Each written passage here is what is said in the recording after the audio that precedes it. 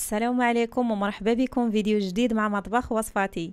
كتبغي تحضري الشفنج ولكن ما كيجيكش مفشفش من الداخل إما كيجيك مدقاص ولا كيجيك مشرب الزيت. لهذا غنحضر معكم الشفنج ديال الطاسة ديال الطماطم اللي غينسيك في جميع الطرق اللي سبق لك وحضرتي بهم السفنج كيجي مفشفش مهوي ومجعب من الداخل غيخليكم توليو محترفين في الشفنج. كما تعودنا ما ننساوش الصلاة والسلام على رسول الله.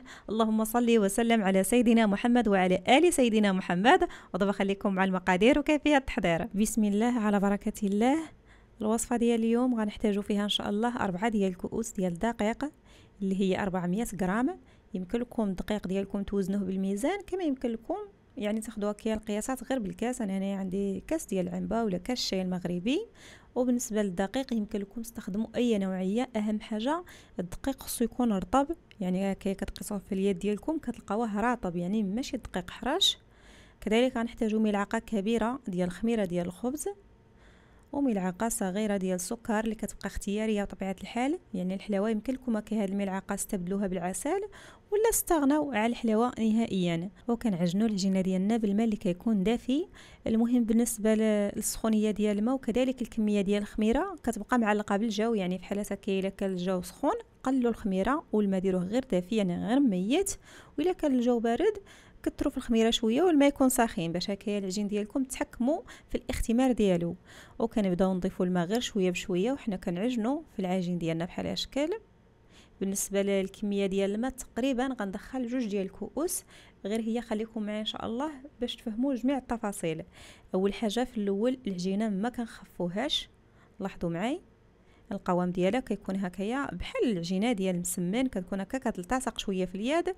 بالنسبة لجوج ديال الكؤوس تقريبا بقى لي منهم هنايا ربع كاس. بالنسبة لهذا الماء غنحتفظوا به. كنغطيو العجينه ديالنا بواحد القطعة ديال البلاستيك وغنخليوها ترتاح تقريبا هكايا واحد عشرة ديال الدقائق يعني كتختمر غير نص ديال الاختمار. وهنايا بالنسبة لذاك الماء اللي بقى لنا كنسخنوه. وغنرجعوا إن شاء الله نكملوا به بالعجن. هنايا خليت نفس الكمية ديال الماء باش آه يعني تشوفوا معي الكمية ديال الماء اللي دخلت بالضبط لأن كاين معنا مبتدئات اللي خصهم كاين المقادير يكونوا مضبوطين. يعني واخا غير كنقربكم شي شوية لأن دائما كيكون كاين الاختلاف هكا في الامتصاص ديال الدقيق هكا فواحد شوية ديال الماء زايد ولا ناقص.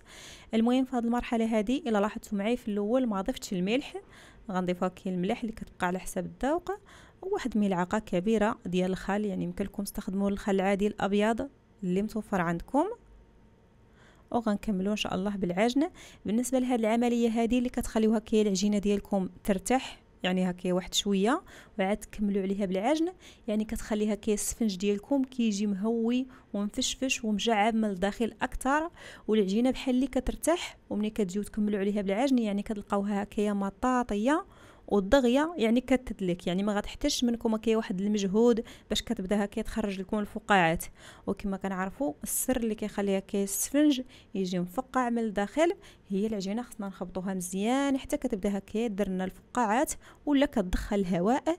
لاحظوا معايا كنبدا غير كنفز هكايا الأطراف ديال الأصابع في داك الماء من الأفضل ديروها كيف شي زليفة. وكتبداو تخبطوا في العجينة. أنا هنا زربت اللقطه بطبيعة الحال باش ما يجيكمش الفيديو طويل بزاف ولكن خليت الفيديو كما هو باش تشوفوا جميع التفاصيل فقط مزرب. وكنبداو هكا نخبطوا إلا لاحظتوا معايا راه بداو كيتكونوا لنا هكايا فقاعات. هنا كنحاول ما نزربش اللقطة باش نوريكم جميع التفاصيل.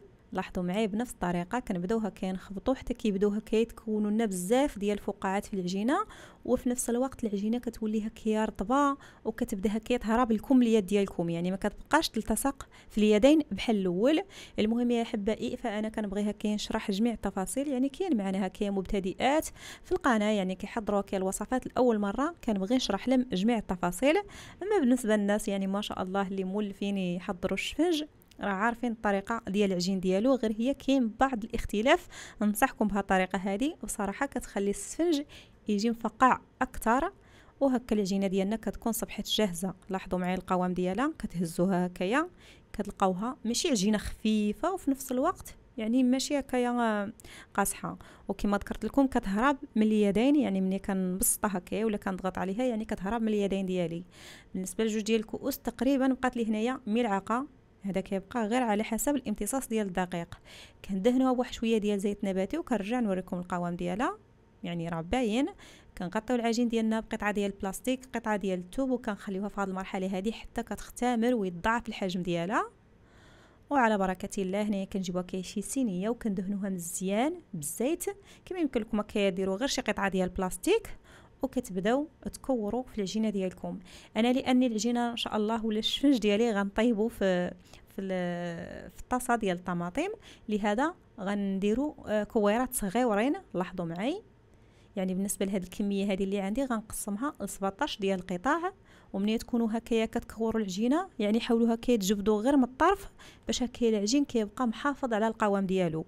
في حاله هكايا إلا كنتو غطيبوا العجينة ديالكم هكايا في شي مقلة ولا هكايا في شي كسرونة يعني الحبات كيبقى على حساب الذوق ديالكم ولكن ننصحكم بالشفنج د هاد الطاسة هذه كيجي قمة في الروعة. مباشرة غنبدأو إن شاء الله في الطياب. بالنسبة للعجينه ديالنا كنغطيو هكا بواحد القطعة ديال البلاستيك باش ما كتنشفش معنا وكنبدأو من الحبات الأولين. من بعد ما كنكوروا العجينة كنوريكم هنايا الشعلة.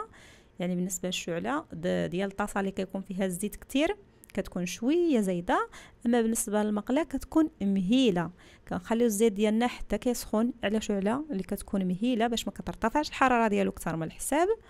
وكنبداو نشكلو بحال الشكل هذايا يعني كتقبوا العجينة ديالنا كنوضعوها في المقلاة اللي كيكون فيه الزيت قليل.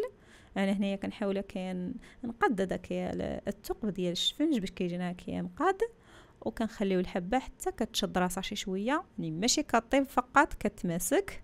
لاحظوا معايا بحال الشكل. ومباشرة غنهزوها. وكنوضعوها في هذا الطاسة. ديال الطماطم بحال الشكل هدايا وكنضغطوا عليها.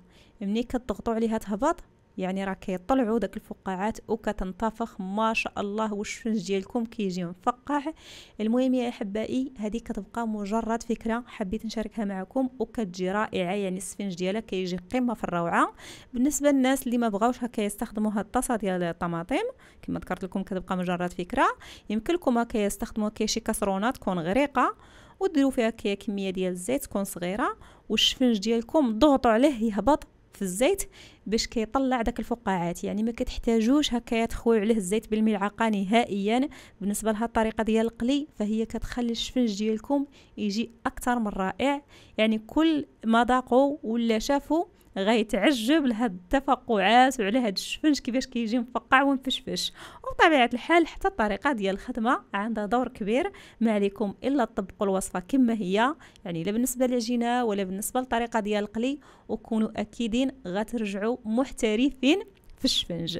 لاحظوا معي هنايا كنوريكم اللقطات كما هما. يعني كنضغطوا هكايا بالملعقة بحيث الزيت كيطلع فوق الحبة ديال الشفنج وهكا كتنتفخ معنا وكما ذكرت لكم كيبقى على حسب متوفر. يمكن لكم تستخدموا هاد الطاسة ديال الطماطم اللي متوفرة في جميع البيوت خصوصا دابا يلا داز رمضان. كما يمكن لكم هكايا تستخدموا كسرونه ولا أي إناء يكون غريق شي شوية باش ملي كتضغطوا على الحبة ديال الشفنج الزيت كيطلع فوق منا. وهذا هو الشفنج اللي حضرت معكم اليوم. نكون شاركته معكم من الأول حتى الأخر بكل أسرار ديال النجاح ديالو اللي غيخلي إن شاء الله الشفنج ديالكم يجي مفقع وكما ذكرت لكم توليو محترفين في الشفنج المهم يا أحبائي لاحظوا معي بعد الحبة كيفاش كتجي. كتجي خاوية من الداخل والشفنج ديالنا كيجي خفيف ومهوي ما كيجيش مشرب الزيت نهائيا كيجي ناشف.